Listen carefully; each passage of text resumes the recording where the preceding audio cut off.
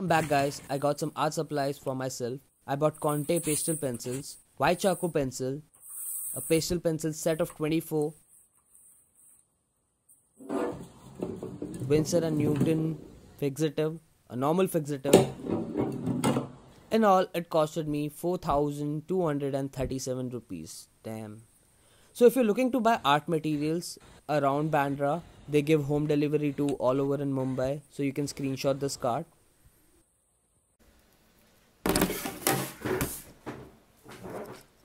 So here's my list of top 5 art schools which are famous in India and all around the world. Number 5 is Banaras Hindu University Art Department. The university is big, actually too big. Number 4 Delhi School of Art, quite famous all over in India. Number 3 Sir School of Art which is in Mumbai, Maharashtra. Number 2 Baroda School of Art which is in Gujarat, Baroda district number one that is bengal school of art famous from the tagore family. It's called shantiniketan school of art. So here's my advice. All these five institutes have a very different approach to art.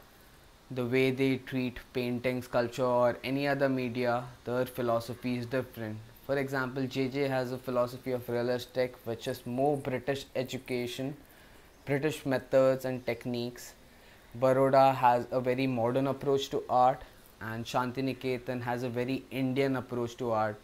All the artworks that are made, even the watercolor, sculpture are from Indian origin, from the Indian philosophy. So before you get into any one of these colleges, you have to research about them. Before you get into them, try to go for their exhibition or check their online exhibition portfolio.